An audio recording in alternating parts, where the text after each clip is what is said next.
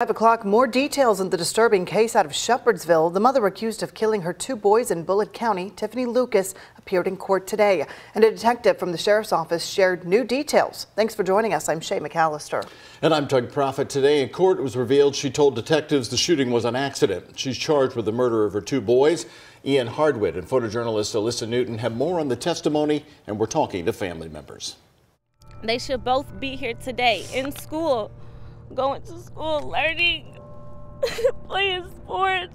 Maurice Baker Jr.'s stepmother, Michelle Rice, and Bobby Baker, his aunt, gather outside the Bullitt County Judicial Center. How do you accidentally shoot a kid two times and then shoot their brother? How do you do that? It's no, no. No, there's no, no we're accident. not accepting that. There's no. It's not mental illness. She knew what She, she did. had options. Bullitt County Sheriff's Detective Richard Beal testifies inside. He interviewed Tiffany Lucas, the mother accused in the murder of her boys, six year old Maurice and nine year old Jaden. Uh, I asked Miss Lucas if she meant to hurt her children. She indicated that it was an accident. Quote, it was an accident, end quote.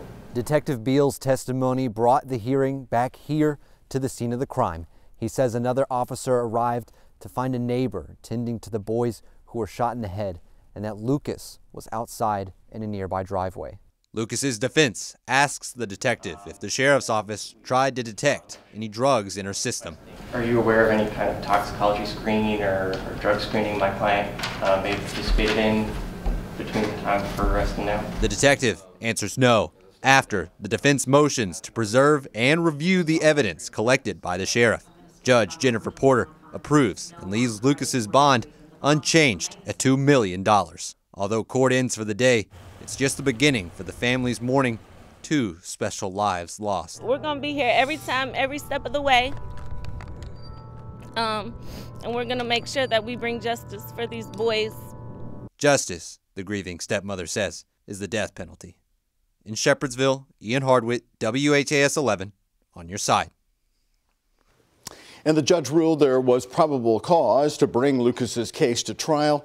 The next time she'll appear in court, it'll be before a grand jury.